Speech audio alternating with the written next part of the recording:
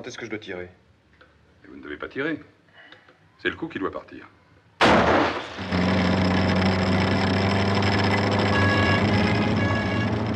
Il y a eu un petit braquage de poste cet après-midi dans la région.